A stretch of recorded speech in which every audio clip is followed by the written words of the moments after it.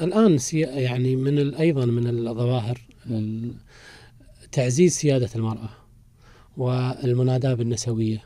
وهذه أعتقد أنه كما ترى كثير من النساء في المنطقة تتبناها وتنادي بها. نعم كثير من النساء تبناها من غير فهم لها. نعم.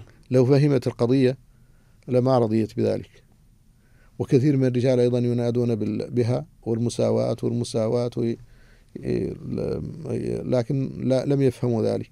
تعرف قصة ال- آه، البيحاني اليماني؟ رجل من أهل اليمن سأله أحد هؤلاء وكان يناقش معه قضية المساواة بين الرجال والنساء فتركه حتى أطال الكلام وأفاض. فقال له هل هذا هل هذا الذي كنت تقولينه قناعتك؟ قال أنت تخاطبني بالتأنيث أنا فغضب. قال أنا رجل. قال إذا رددت على نفسك وانتهى الحوار. أجبت أفتيت نفسك. نعم.